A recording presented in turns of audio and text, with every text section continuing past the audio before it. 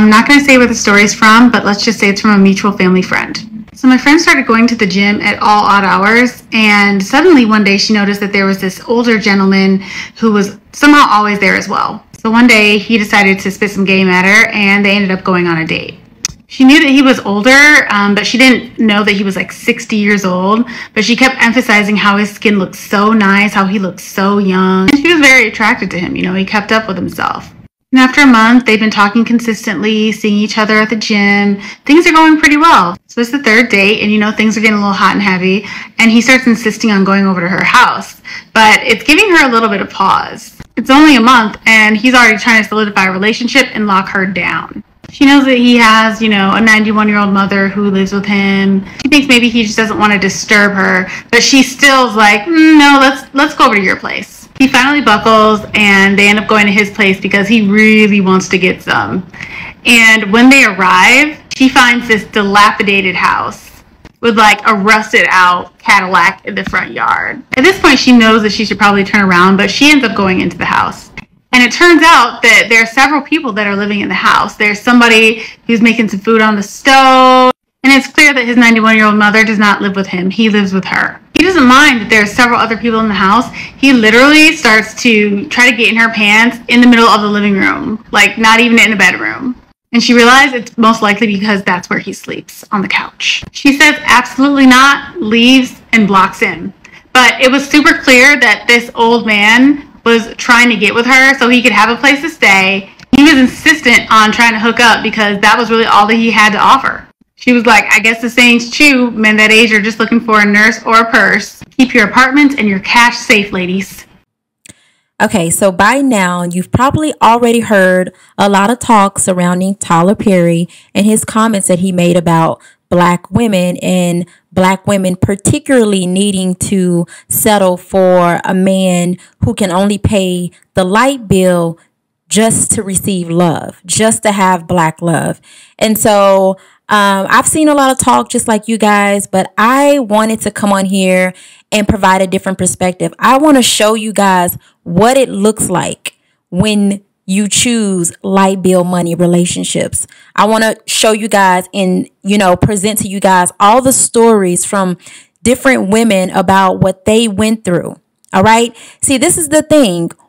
When you are looking at Hollywood and you're looking at social media and what's on TV and what's, you know, some of these celebrities are saying, it's not true. It's not reality.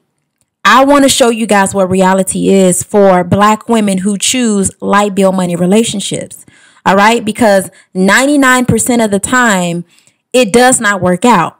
And in our heads, a lot of times a picture is painted. We think that we're going to get the Cinderella story. See, a lot of us tend to think that we are going to get the man the good man after he's made it to the top, after we've helped him, after we've birthed all his babies, after we've, you know, helped him with his criminal uh criminal record situation. We think that we are going to get, you know, the Jay-Z at a billion dollars as opposed to the Jay-Z when he, you know, was in trouble for stabbing somebody up in the club. We think that we're going to get, you know, the Jeezy after you know he's then slanged all the the dope in the neighborhoods after he then slung all the the rap music you know destroying the community and the minds of these young men. We think we're going to get the jay-z as the real estate guru.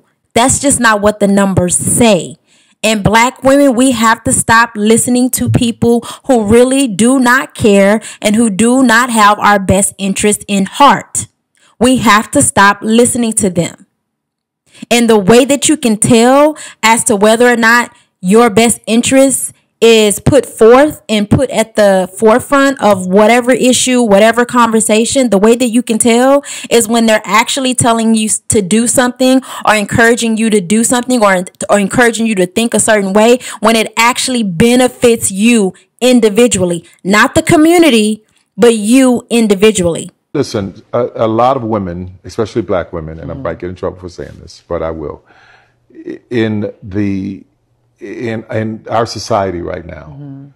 Uh, black women are making a lot more money for the mm-hmm. most part than yeah. black men. Right? There are a lot of black men who are successful, but for the most part, black women are making the money. So you, if you can find love, if that man works, you know, at whatever job, mm-hmm.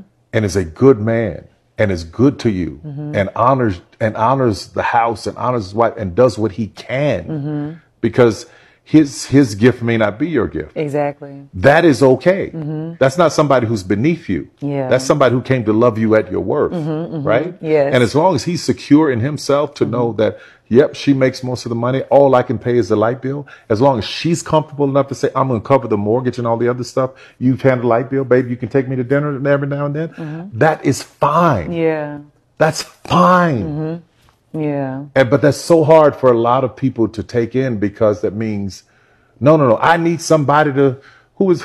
I need. I they need to make five times more, and I got to have. the- I got to have. Well, you Uh-huh. keep, go on, Keep keep, go on keep your list, baby. Yeah. God, God bless you. Hope it happens. Go on, keep your list.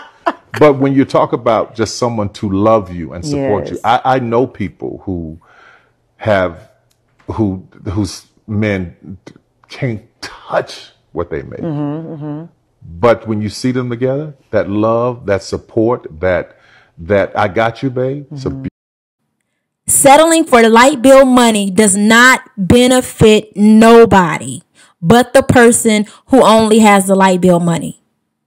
So again, in this video, I'm going to show you guys the stories because sometimes we got to see it. Some some of us we don't think fat meat ain't greasy. We just have to see it. And you know, it's unfortunate that some many of these women that I'm going to show you that settle for the light bill money situationships and marriages and all of that it's sad what happened to them. And I think that what should be told and I get it. A lot of these women, they don't want to come out and allow us into their business. So you're not going to really see or hear these women come out and fully let the world in into their relationships, their marriages, their businesses. And that's another issue too.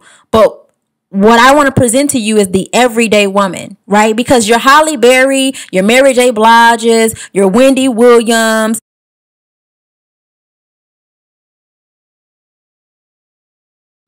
See, the millionaire black women, like I just named, they can bounce back financially. Maybe not, you know, mentally, emotionally, because that's that's another whole nother story. But they can bounce back financially. What I want a lot of everyday nine to five black women like myself and most of the black woman population or most women in general, we can't bounce back like that financially we we we don't have the same circles, the same connections, the same resources like your Wendy Williams, your Mary J. Blige's, your Halle Berry's, and your so on and so forth. We don't bounce back as easy.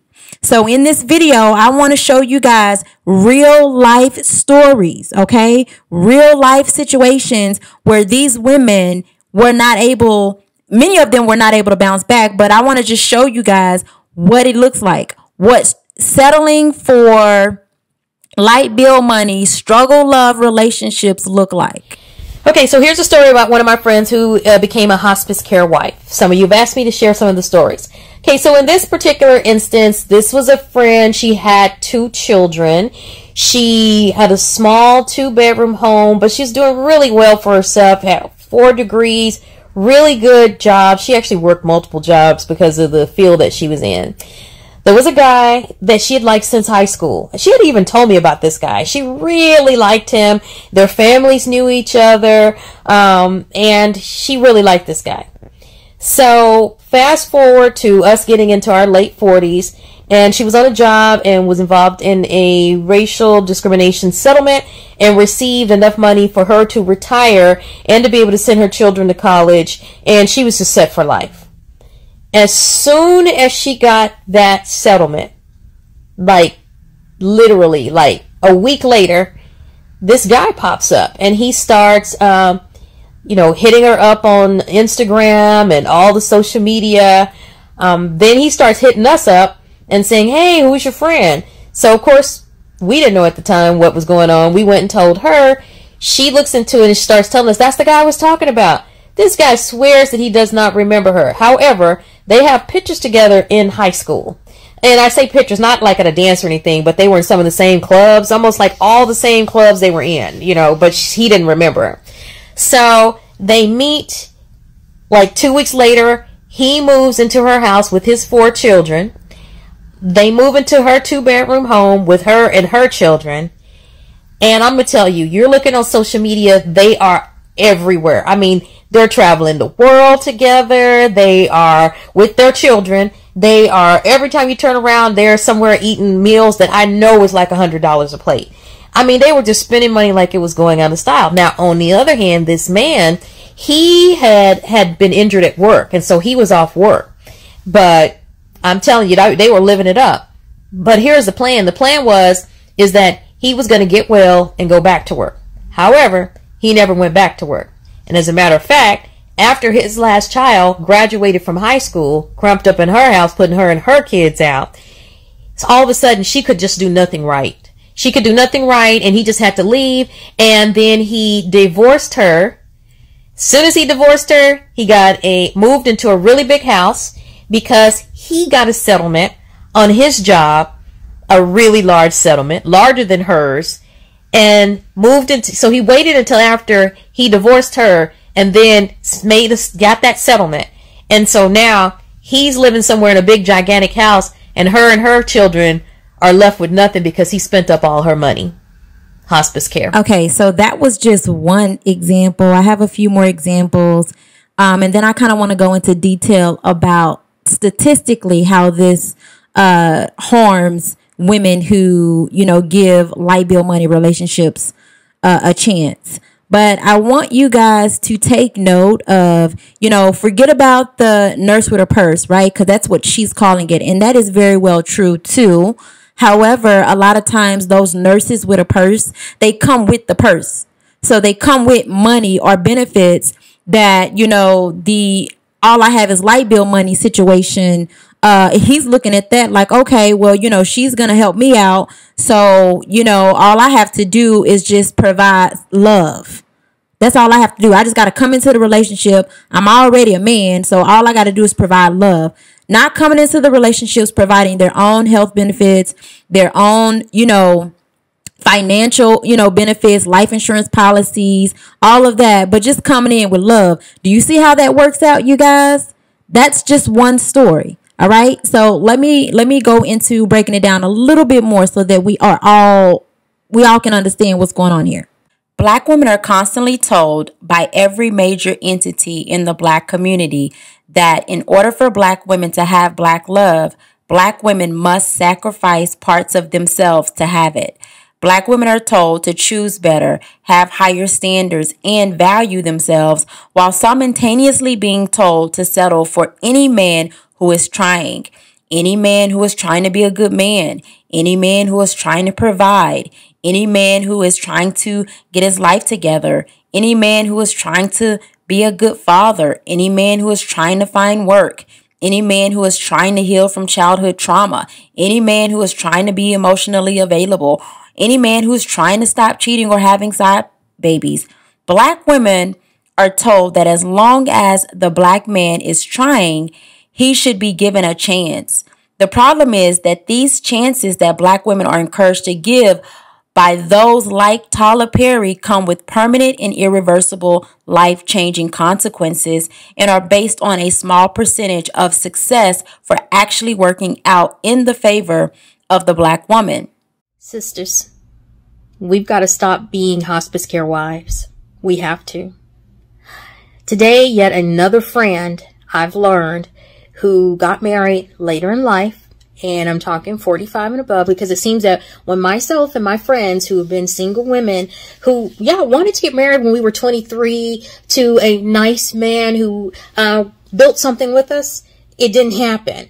And so we turned 45 and then suddenly here come all these brothers, you know, 40, 45, 50, just Rico Suaves. I mean, complete love bomb. They grabbed my friends. They ran them down the aisle and today I find out yet another one of their husbands has dropped dead. I mean, I just put it that way. He was already sick when he got with her. And what I'm finding is, is that with a lot of my friends, because we've been professional women, are getting married to these men and they are simply looking for benefits. They're looking to rest and to nest. It's not in sickness and in health, it's in sickness and in death.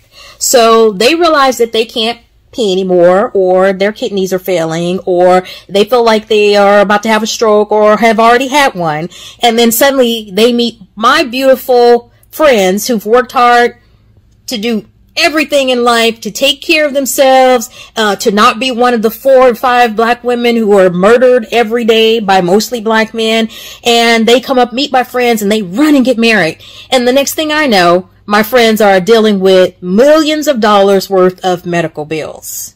Not only dealing with the medical bills, but after these men have passed, here come all their grown ugly kids busting up into my friend's house, breaking their noses, carrying things out of their house, and knowing that their dad was living in a one, living in efficiency.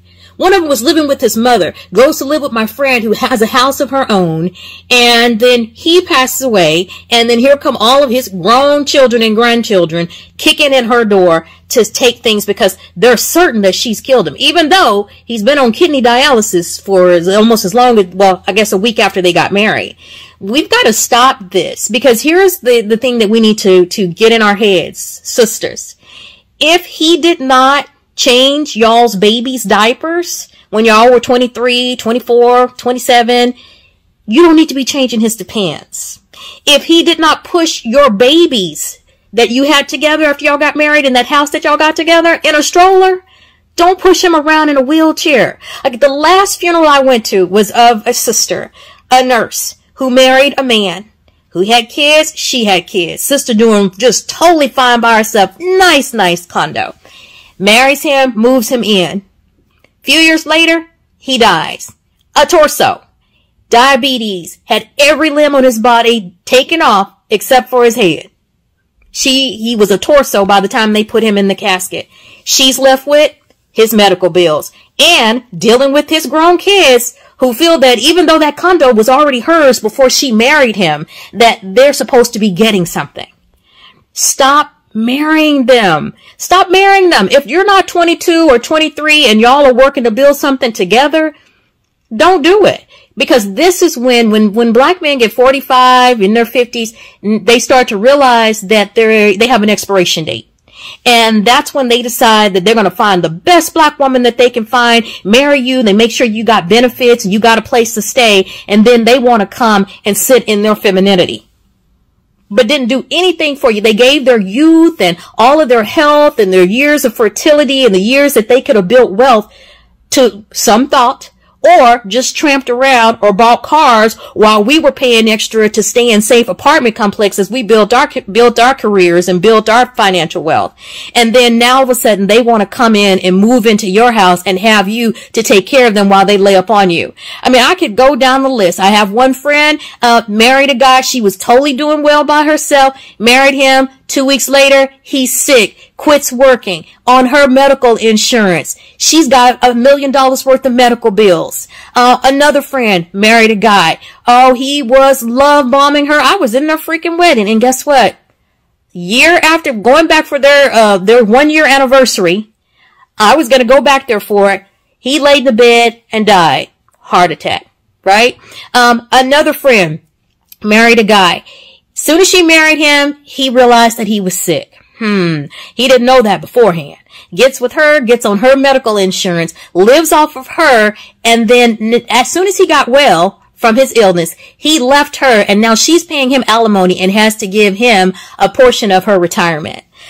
Sisters, we gotta stop being taken advantage of. We got to stop being hospice care wives. If you want to get with them, go ahead and get with them. If you want to move them in your house, move them in your house. But here's what you don't do. Do not marry him because then he becomes your financial responsibility. And I'm telling you, these black kings, they love to rest in their femininity. They love to come up in your nice house with your fireplace and lay there and have you to nurse them to death. Mm-mm. If you just want to have him and you just want to a cane. You just want one. Here's what you do. Cause he's gonna move into your house and then you're gonna put your uh, money together. Then he's gonna take your money to buy you an engagement ring with your money. Uh-uh. Tell him don't do that. Take that money and go get his get him a complete physical. Get a full physical. I'm talking teeth and everything because most of these brothers have not been to the doctor since they were playing football and had a physical, right? In high school in high school and so missing teeth and all this. So look at how much you're going to have to pay to sustain him for the next five years because most of them are dying like at 50 before 55. So if you marry him later in life, see how much it's going to cost you to take care of him um, and try to look into see what those medical bills are going to be. Okay. Look at his health insurance if he has any and make sure that he stays on his health insurance and doesn't get on yours because yours most likely is going to be better than his because you will have, you know, built up something and been at your job for a while. Don't put him on your medical benefits. Okay. Once you find out what his health uh, is, then the next thing you do is go get a life insurance policy, no less than $100,000. Get a life insurance policy, go to an attorney, have a will written up, and have him to agree that whatever he walked in with is what he's going to be walking out with.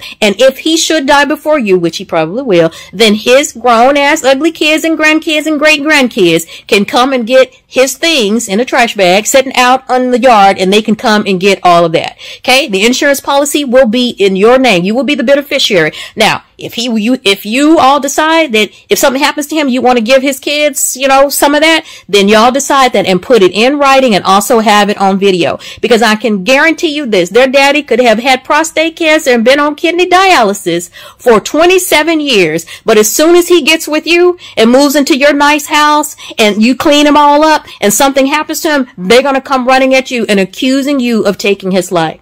Sisters, stop being hospice care wives. If you want to be with them, you don't have to marry them. Do not take any financial responsibility for these men that did not take any financial responsibility for you when you were younger and in your 20s. And some of these young girls, y'all trying to get with these, these old men because you want to be able to get their social security after they pass away. Okay, let me warn you against that because some of them owe so much money that you ain't gonna be able to get nothing once you finish paying for their medical bills and paying for all of the, the expenses that they have because they are sick. And again, you know, I mean, your granddaddy is fine. You know, it, you know, you love your granddaddy. When I say fine, I mean like it's, it's, it's great. Like I loved hugging my grandfather and being there with my grandfather, but it is something that is just kind of gross about an old man that has not taken care of himself.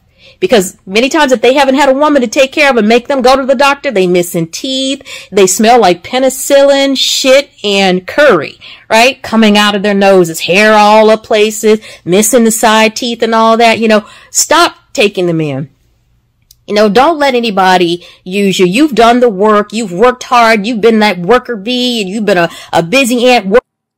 When black women are told to settle for men who can only offer light bill money, black women are essentially being encouraged to sign up for lack, struggle, instability, poverty for those for themselves and pass down generational poverty for their children. Tyler Perry is an example of why many black women are no longer willing to accept the all I have is light bill money. Major entities such as the black church or spiritual leaders, community leaders, and entertainers and or entertainment such as movies, videos, music, social media, etc., all have been advocates for promoting struggle love to black women. The problem is that this notion has been sold to black women for decades and has directly proven to be a negative influence on the livelihoods of black women. Black love is beautiful when it comes with financial security, marriage, healthy, active fathers, stability, and overall mental health wellness within these relationships. However, according to statistics, when black women settle for light bill money relationships, they find themselves inheriting generational poverty for themselves and their children. In the Brookings article, The Inheritance of Black Poverty, it's all about the men. It explains that black women have the hardest time of any group of women escaping poverty. Why? Well, according to the article, it's because black women overwhelmingly pair themselves with black men, which are the number one group of men whose chances of being permanently locked into poverty are the highest at approximately 57%. 57% is based on the 4,200 pool of men that the study was done on. Now, we know that that 57% is pretty accurate because we know what the prison statistics are when it comes to black men. We know what the um, you know, um, unemployment statistics are when it comes to black men. So we know that that 57% is a pretty accurate account for the overall black male um, population. So what does this mean? Well, it means that black males who are born into poverty have the greatest chances of staying in poverty well into adulthood, especially if the males get involved in the criminal justice system or create several children with different women, hence having to pay child support, or does not take uh, their financial literacy seriously and therefore never learn how to manage money. All of that affects the women and children because when you pair someone who is already in poverty and who can only afford to pay the light bill, you are ultimately locking yourself into yourself and your children that would be created in that union in poverty. So that's how that works. So for those who may say black women have it easier, well, that's not statistically true. Studies show that black women face both racial discrimination and gender discrimination. So in essence of moving up in social class based on getting a job or career and keeping a job and or career, which goes without saying, it is directly connected to financial stability Black women face the same struggles as black men and more in the context of financial stability. If black women can climb out of poverty, black men should be able to climb out of poverty and have a better chance because, like I just said, black men only have to deal, deal with the race, and the black women have to deal with both the race and the gender issues in the workplace. All right. So, what is not told to women who sign up for light bill money relationships is that the link between poverty, unsafe neighborhoods, fatherless homes, and mental unwellness is extremely high for Black women who take those chances. Black women are already at the highest risk for abuse financially, mentally, and physically. Black women are also at the highest risk for being unalived. They're at the highest risk for single motherhood, depression, stress, induced sicknesses, and terminal diseases. Um, and then when you add the stress of being the financial provider for the household, paired with relationship stress, on top of all of that, the likelihood of disaster for Black women is high Hence, why black women should not be encouraged to settle for light bill money relationships. In conclusion, what should be told to black women? It's fine.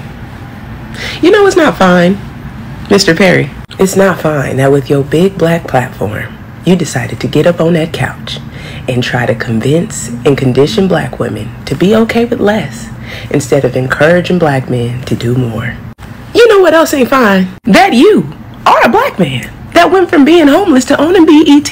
What an inspiration you are. And instead of saying, black men, you could do it too, you said, black women, y'all better pay that mortgage and be okay with him paying that light bill. And I just really want to understand why is the message always black women get used to less instead of black men do more, even from the black men who have done more?